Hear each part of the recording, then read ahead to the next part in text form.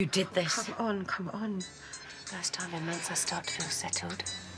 Turns out I'm living with a killer. Don't be ridiculous. Well, apparently she's murdered a man. Not without good reason, I'm sure. Oh, I think I'm gonna shoot off, right? You're going. Yeah, I'm assuming lunch is over. Oh, you're loving this, aren't you? Yeah, I am as it happens.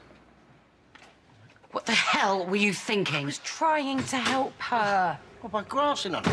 Have you got any idea what it's done to her carrying that guilt around? She's a Mitchell. It comes with the territory. I mean, of all the evil things you could have done. Don't you dare pull that on me, all right? She's my sister. Yeah. And you've probably got her banged up for life. No, it's, it's not going to happen. All right. You know that for sure, do you? We're family. We stick together. don't we? Family? Don't make me laugh, Billy. Where were you when she was trying to poison my fiance? Pity she didn't succeed. You know your problem, Roxy. You're selfish. Oh, I don't have to listen to this. No, if the police should talk to anyone, it's you. Meaning? Shacked up with a rapist.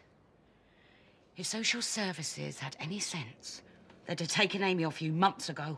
Hey, What am I supposed to do? out of it! You, you don't tell me what to do. Really? Phil, What she thought was right. kicking off in there. Keep out of this, you. Don't talk to her like that. You know, all I wanted was a quiet lunch, but you couldn't even give me that, could you? I think you better go. Oh, now he speaks. You should be here sorting this out, not sloping off to the kitchen. Rox, just go, yeah? Are you serious? You ain't welcome here, Rox. I was trying to help her. You grassed her up. Yeah? That's no better than your old man did to you, is it?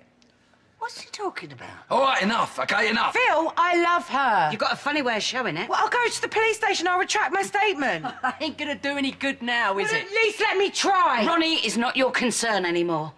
We'll deal with it. Oh, right. Is that it? Are you just all going to turn your back on me, are you? Hmm, well, only got yourself to blame. I'm your family as well. Not anymore, you're not. I don't ever want to see you in this house again.